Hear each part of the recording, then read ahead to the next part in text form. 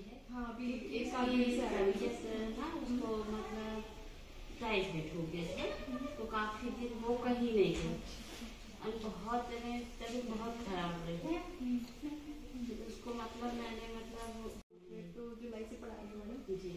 तो उनसे बोलना कि कॉपियाँ ले ले किसी से। मुझसे बात करेगी तो मैं कॉपी दिलवा दूँगी। कॉपी लेके अगर उसकी कॉपी कंप्लीट हो जाएगी। फिर याद करना तो बच्चों का ही काम रहता हाँ, वो जी। लोग याद कर लेंगे। ही। हूँ नहीं तो वही काम में लगी पढ़ने में। पढ़ाई में पिछड़ गई है ना कोई दिक्कत आए तो हाँ, पिछड़ गई मेरे स्टूडेंट का उनको कोई दिक्कत तो नहीं है इसीलिए मैंने आज सोचा कि आज ही बात करती हूँ। है हाँ, आपको भी ऐसा लगे कि कभी आपको कुछ ऐसी हाँ। आप बच्चों से शेयर नहीं कर सकते हो तो आप मुझसे शेयर करना हम उनको सही राह पे लेके जी जी जी।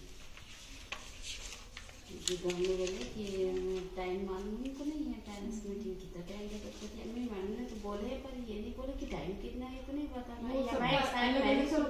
सुविधा से आते हैं जी, ना जी, हाँ। अगर मैं टाइम डिसाइड करके दे देती कि 11 से 2 हाँ। तो वो कोई कोई नहीं हाँ, आता। कोई नहीं हमने आता। बोला पूरे दिन हम 5 बजे तक रहेंगे यहाँ पे। जी। 5 बजे तक आपको जब भी समय मिले आप आ सकते हो। जी।